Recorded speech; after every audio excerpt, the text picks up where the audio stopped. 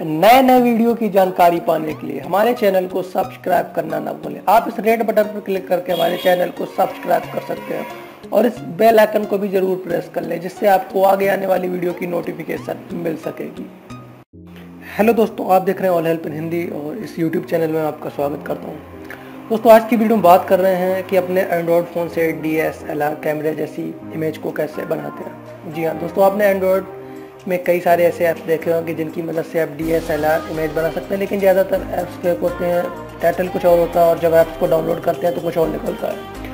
तो दोस्तों, आज मैं आपको 100 परसेंट वर्किंग ट्रिक बताने जा रहा हूँ, जिससे आप बड़ी आसानी से डी एस कैमरे जैसी इमेज अपने एंड्रॉयड फ़ोन से बना सकते हैं। इसके लिए अपने एंड्रॉयड फ़ोन में कुछ ऐप्स इंस्टॉल करनी होंगी और फिर आप इस इमेज को बना सकते हैं। तो इसकी जानकारी मैं आज की वीडियो में आपको देने वाला हूँ।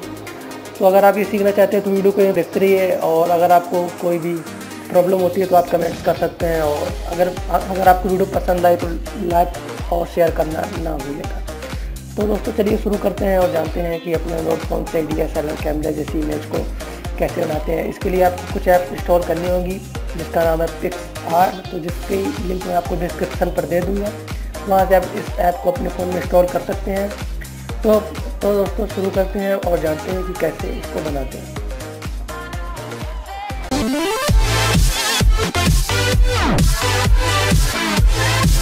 We'll